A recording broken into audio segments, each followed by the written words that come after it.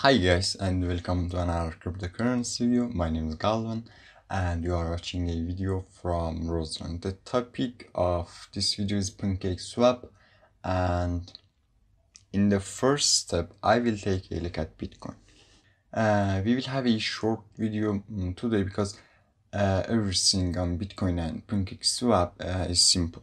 Uh, in Bitcoin, as I said in the previous video, we have a a very strong resistance line in the weekly time frame and we have to close a weekly candle above it. If bitcoin closes a weekly candle uh, above uh, the resistance line everything is okay and keep your long position. Otherwise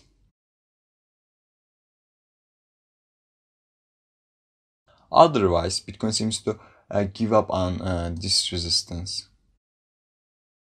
Prepare yourself uh, for any situation. Prepare, uh, prepare yourself for any kind of move.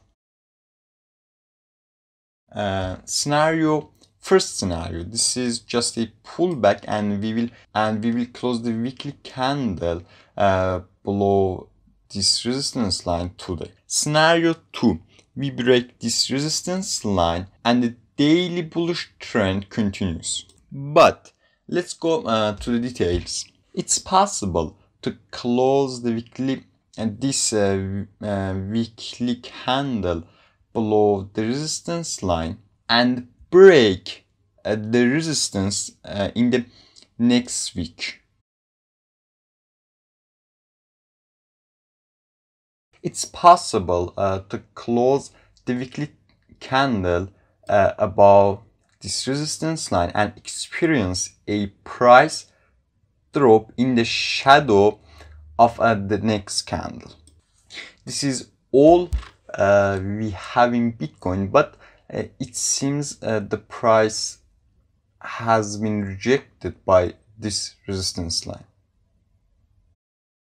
I hope you uh, watched the previous video about PancakeSwap. When I said we broke, when I said we broke this uh, resistance line.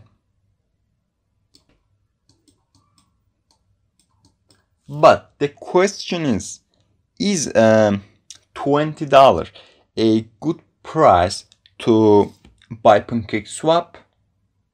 Uh, I think it's not. Uh, I think it's not for enough. I, uh, I will wait for Bitcoin to close the weekly candle. Uh, as you can see,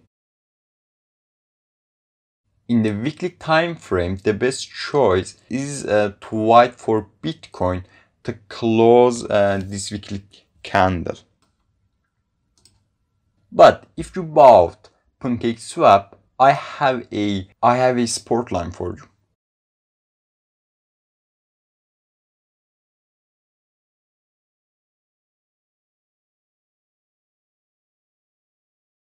I recommend you to put your stop loss in here. Okay, put your stop loss in here.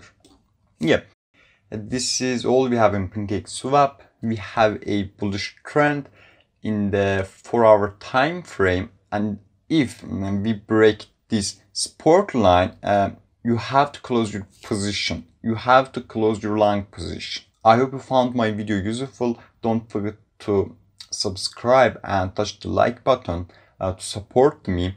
And I hope I will see you in the next video. So see you in the next video